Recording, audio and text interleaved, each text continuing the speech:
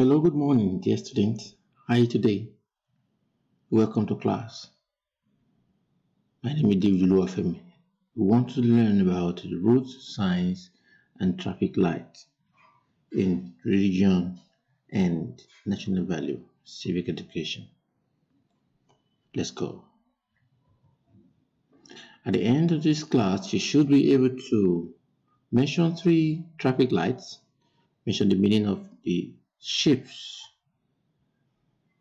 of uh, three shapes of road sign. Should be able to list the purpose of road signs and traffic light and, and identify road signs and their meanings. Now, road signs and their meanings. There are several road signs and symbols with their respective meaning. A great number of them. Numerous, but it's good for us to understand the meaning.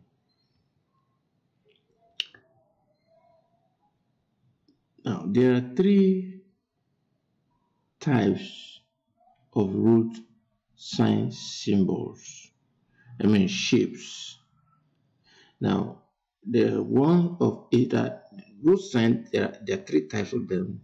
One is for instruction and other sign, their instruction or other signs. Two, warning, warning signs. And three are information signs. Now, the word, those of instruction sign or other sign they use circle? Circle you see them they are written in circle. Now those that are rectangular shape rectangle is used for information. There are some road signs that are meant for information. Then there are triangle shape used for warning. They are used for warning. You can see in those things you see various shapes there. You see this triangular shape, I mean rectangular shape, rectangular shape, triangular, see some circular shape there. Alright.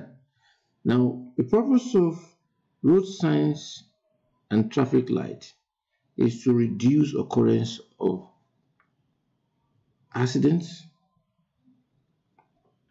to guide and protect every road user. Road user could be a, somebody driving a a, a truck, somebody driving a car, somebody pushing a truck, somebody riding a bicycle or using a motorbike, or even pedestrians. Pedestrians are those who are walking on their feet. And to achieve and maintain order in the traffic, so everybody walk or move in order means their own time when it is their own time all right for safety of lives and properties so that things are not damaged or lost. Okay? Now let's look at uh, some of those those signs and symbols as you can see see this u uh, inverted u see this one turning to the right and crossing uh, and they are crossed so they are crossed and look at this one circle let's look at the meanings now, this one that you see there, it means stop ahead. And stop ahead and stop at the place that is, there's a sign on the, on the road where you should stop. Right? Stop then, move when safe to do so. This one is saying give way to traffic approaching from left or right. This one says no entry. Entry forbidden for all vehicles. This one says road closed road forbidding to all drivers, to all vehicles. This one, they are crossed, entry forbidden to motor vehicles, that is all motor vehicles with more than two wheels. This is talking about entry forbidden to all motorcycles without a sidecar. This one is talking about entry forbidden for all bicycle. This one say entry forbidden for all pedestrians. Pedestrians are those who are walking on their feet. All right. Entry forbidden for all motorcycles, for all motor vehicles. All right. This one is that entry forbidden for all uh, uh, motor vehicles, animal drone vehicles. As you can see. All right. Now this one is talking about entry forbidden to all vehicles exceeding 2 meters width. This is entry forbidden to all vehicles exceeding 3 three exceeding the exceeding the height.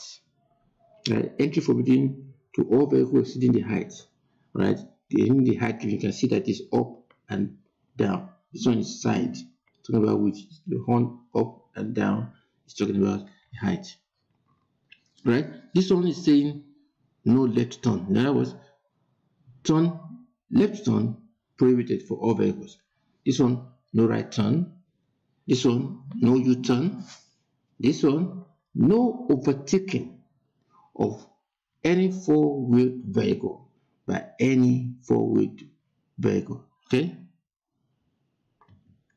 Now, talking about the traffic lights and their meaning, there are three traffic lights. We have red, we have green, yellow, or amber, and the red one says stop, green says go. The yellow or amber says slow down or proceed with caution. Slow down or proceed with caution. All right. I believe you learned something this morning and you should be able to recall. You should be able to mention three traffic lights. Be able to mention the you should be able to mention the main or the three shapes of those signs. You should be able to list the purpose of road signs and traffic lights. And you should be able to identify some road signs and their meanings.